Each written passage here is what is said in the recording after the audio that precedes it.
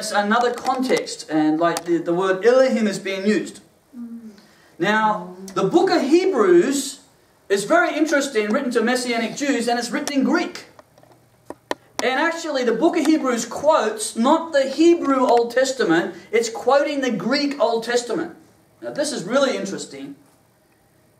And so, in the book of Hebrews, chapter 1, especially, when they quote Old Testament scriptures that use Elohim, and our, by the way, our Bible is translated, the Old Testament is translated from the Hebrew text, the Old Testament. And that's why you'll notice a difference between New Testament quotes and Old Testament quotes on certain words. So here it's got gods, and other, other text contexts it's got gods. Elohim's been translated as gods, but in the book of Hebrews it translates it angels. Okay, you're following my, my story here? So, by the way, apart from Yahweh, every other god is a is a fallen angel. Like Baal was a fallen angel. Moloch is a fallen angel. Uh, all of the gods of the ancient Egyptians are fallen angels. They're demons. So this is the thing. Um, we get an understanding now when, when we talk about the gods of the nations. Here is, here is the Lord God in his great assembly, and he's surrounded by all the other gods.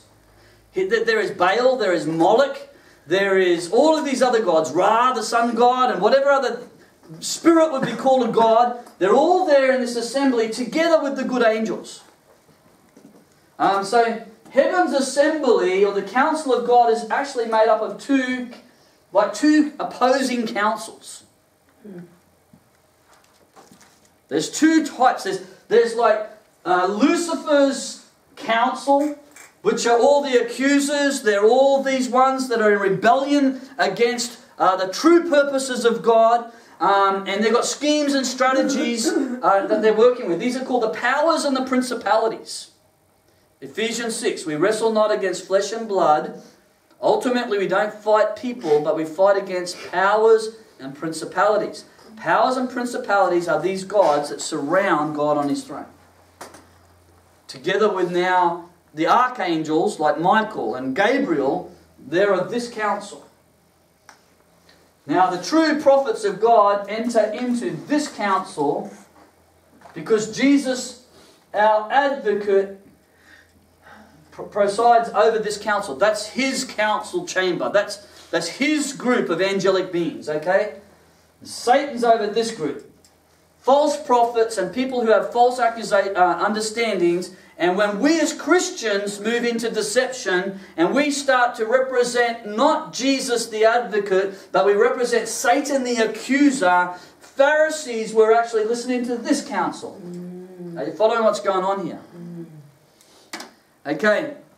Now, in the story of Job, Satan comes into the law court of God and he's actually doing a, a couple of different things here. Hope you don't mind my artistic talent. Not the best of pictures, but I'm trying to give you some visual to understand what I'm talking about with this. Okay, so here is Satan, and he's, he's going to accuse. Okay? But he has two strategies. Satan is really sneaky. Yes. Okay? It's like he's like he's a boxer, and you know boxers have two fists, and they're going to punch left, right, left, right, and they have all different combinations. Well, Satan has two strategies in how he attacks us. You've got to understand this. For us, to, for us to be real prophets and speak into people's lives, the counsel of God, and to understand and discern in situations what's going on. So he comes with accusations against us, and even accusations to us against others. So he'll, he'll, he'll accuse our father and our mother and our pastor and, and you know, and, and the church. He loves accusing the church. Revelation 12, he accuses the brethren day and night. Um, because he wants us to be declared guilty. Because in the law court of God, God is righteous. Did you know God is also righteous with the devil? That's what the story of Job's about. Study scripture. God is righteous in how he deals with every living being.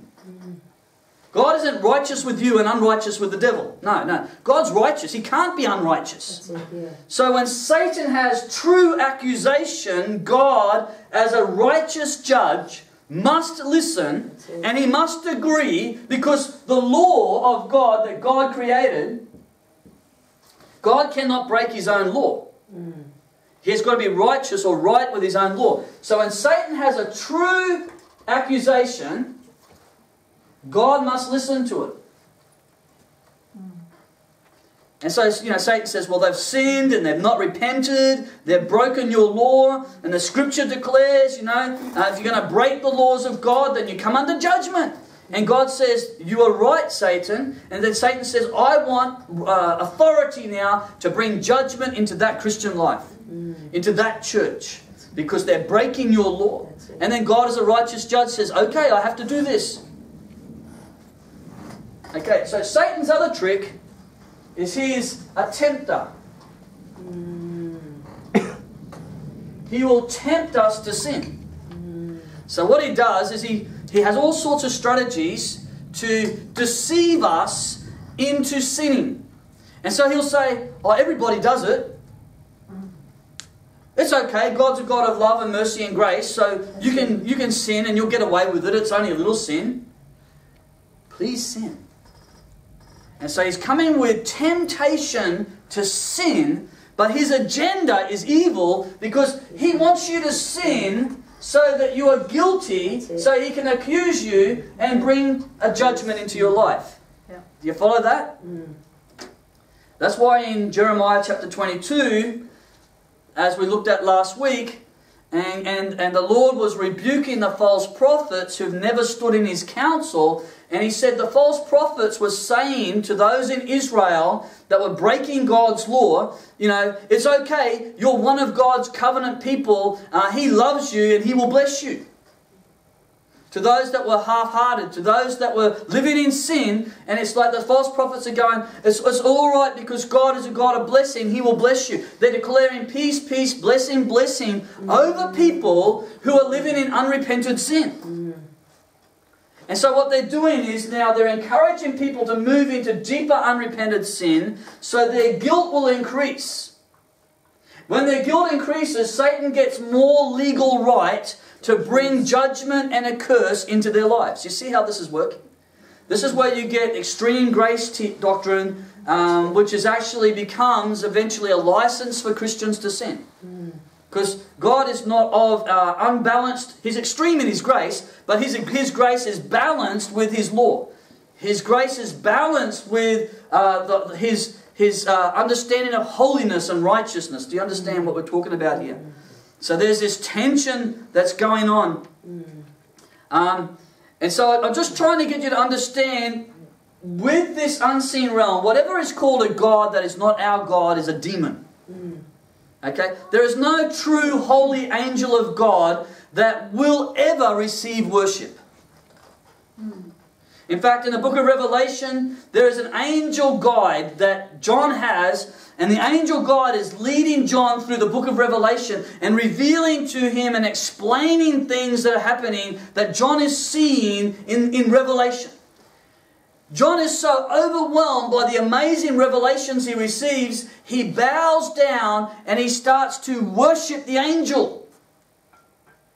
And, and, and understand this is the Apostle John, you know. The Apostle John near the end of his life, and he bows down to worship an angel. And the angel says, Do not do that. The angel had the fear of God. He knows what happens to any angel or man that receives worship. It does not go well with you. You know, like, don't do that, John. I am your fellow minister. I am just a fellow minister. Do not bow down and worship me. So um, we have to understand what's going on in the world when they worship false gods. They're, they're demons. Uh, but they do somehow have access into this council like Satan, but they're part of the um, accuser council, so to speak. So in the heavens, there is a, a different voice going on. Um, let's look at Acts, the book of Acts, to give you a New Testament example of what I'm saying here.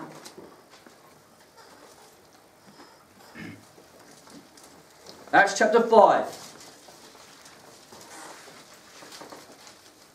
I'm going to give you an example of two Christians that entered into Satan's council.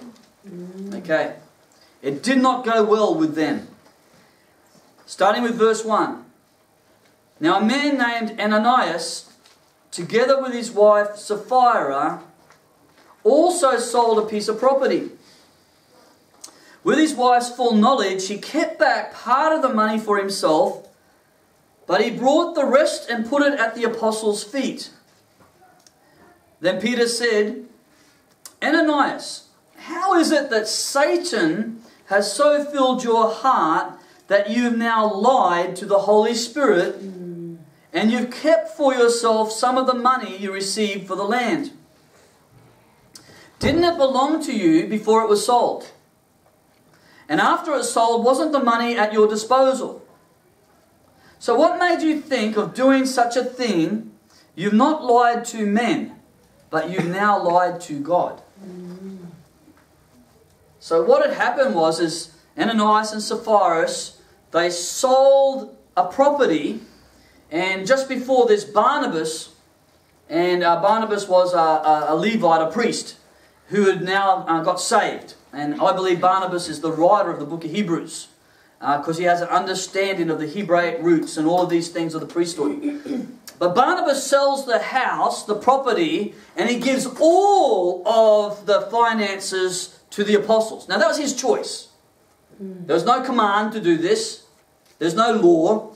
But Barnabas, his heart, he's an encourager and he's very generous. And so he, he gave everything to the church to be used for the kingdom of heaven. So everyone praised Barnabas, and it's like everyone's talking, wow, Barnabas did this, you know.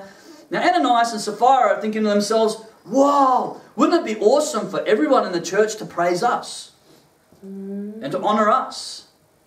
You know, just like Barnabas, everyone's talking about Barnabas, they can talk about us like that. So what they did is they sold their property, they kept part of it for themselves. Peter says it's okay to keep part of it for yourself. Yeah. There's no law. They, they could have kept 100% for themselves, you know. Uh, that, that there's no law there binding them, but the, this is what they did. They gave part of it to the apostles and said, This is all of it. Mm. They, they lied. Mm. And they made out that they'd given 100% to the church, but Peter gets revelation from God about what's really happening. And he says, You're, God, you're lying. You've lied not to men, you've lied to the Holy Spirit. So understand they're not getting in trouble because they kept part of it for themselves. They're getting in trouble because they lied. They said that they gave everything, but they didn't.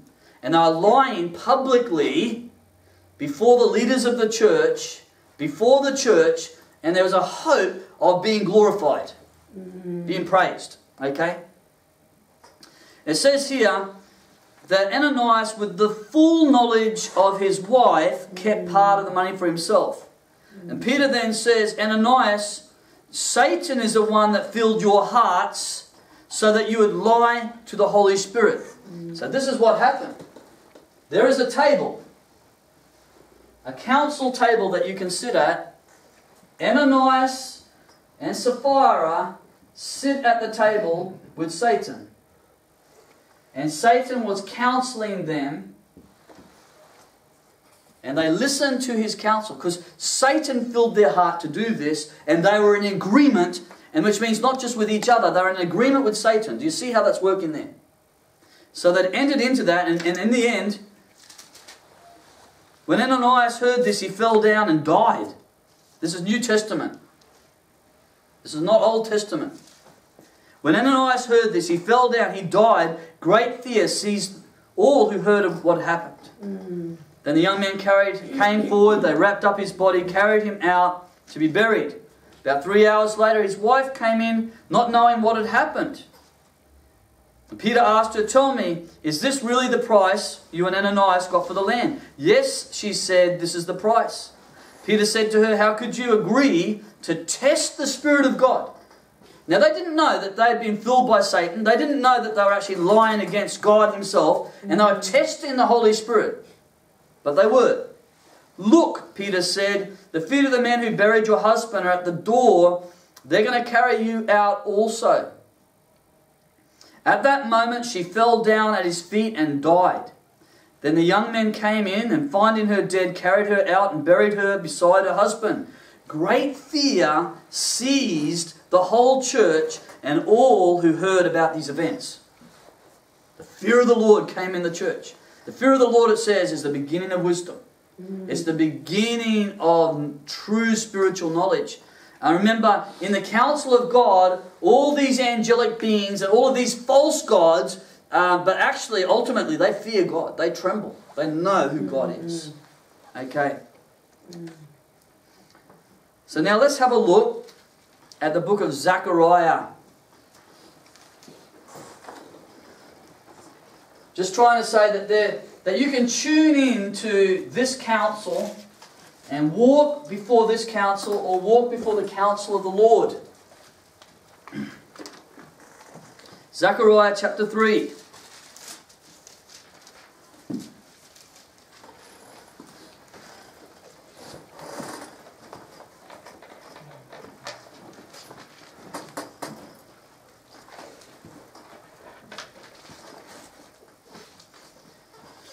Starting with verse 1. It's getting hot. Uh, then he showed me, now, now Zechariah has these dreams at night time, and very powerful prophetic dreams, and, and the book of Zechariah is made up of these dreams. These are prophetic dreams that he would release to the people of Israel, to Zerubbabel, who was the governor of Israel, and to Yeshua, uh, the high priest. At that time, his name is Joshua here in the English Bible because actually his name is Yeshua, Jesus. But um, he doesn't really represent Jesus in this story, okay? So then he, that is the angel that was leading Zechariah through the visions and, and dreams and giving him understanding of what's going on, this angel was interpreting for him. The angel shows me Joshua, the high priest, standing before the angel of the Lord and Satan, standing at his right side to accuse him. So here we have Zechariah is now entered into the heavenly council. He's entered into the courtrooms of heaven. He sees the high priest Joshua standing before the throne of God, the judgment seat of God. And I've got to get my left and right correct because I'm looking at you guys. It's different when I turn around, okay? So, left hand is this side, that's the devil. That's Satan. And that's the right. Because remember, I'm facing towards you. Okay. God's facing this way. Okay, the left hand of God in Scripture, for example, the sheep and goats prophecy of Matthew 24. Yeah. At the end of days, God's going to get all of his people and he's going to separate them into two groups. And one group will be the sheep and one group will be the goats. And the sheep get on the right hand side where Jesus stands. The goats get on the left hand side. The goats then he says, Depart from me, I never knew you. And then the sheep he says, Enter into the paradise that I prepared for you. Okay, so make sure you're one of the sheep and not one of the goats, by the way. Because many say, Lord, Lord, and they never knew him. There'll be people that think that they're truly Christian, people that think that they're truly the servants of the Lord, and they're going to find out that they're goats. Hmm. So make sure you're. So the devil is on the left hand side. The angel of the Lord, when you study theology, this is what we call a Christophany. Christophany is when in the Old Testament Jesus is revealed. Hmm. They're also called theophany, theo for God. In the Old Testament, God reveals himself in many ways. But God has never been seen by man. God as God. And in fact, Jesus himself said, No one has ever really seen the Father but the Son, and whoever has seen the Son has seen the Father. So whenever God has been revealed in a form that people tangibly can see, it's actually the Son, Jesus Christ. That's why theophanies are uh, Christophanies. The angel of the Lord, whenever he appears, for example, in the burning bush, Moses sees the burning bush that's burning but not burning, you know, like it's not being destroyed. And, and then the angel of the Lord is there speaking to him and says, Take off your shoes, you're on holy ground. And, and so the angel of the Lord is now receiving worship. Because Moses takes off his shoes and bows down. No angel receives worship, only God. So the angel of the Lord, whenever he comes in the Old Testament, he always doesn't just receive, he commands worship. Mm. And whenever he speaks, he speaks in first person as the Lord. Mm. Just giving you a bit of theological understanding of what we're saying here. So the angel of the Lord that Zechariah sees is Jesus Christ. Jesus Christ in the New Testament has a name. He's called our advocate. Mm. The advocate is our defense lawyer. By the way, the Holy Spirit is called the Paracletes. Paracletes means to come alongside. It's a legal name for the advocate. So the work of the Holy Spirit is the same as the work of Jesus. So Jesus, the Holy Spirit's just doing what Jesus is doing, and then when we're filled with the Holy Spirit and we follow the Holy Spirit, then we'll be doing what Jesus is doing. Do you understand how this works? That's why those that follow, are led by the Spirit of God, are the sons of God. Because as we follow the Holy Spirit and do what the Holy Spirit's doing, we do what Jesus is doing and we become like Him. Okay. Just explaining some stuff here. Now, this is interesting. Zechariah, who represents us, is standing here watching what's going on. He's seeing and hearing what is going on in the law courts of God, in the council of heaven. Can I tell you this? Here is Joshua the high priest, dressed in dirty rags. We'll get into that soon. Where was Joshua that night when Zechariah was having a dream? Was Joshua literally in the throne room of God? I think Joshua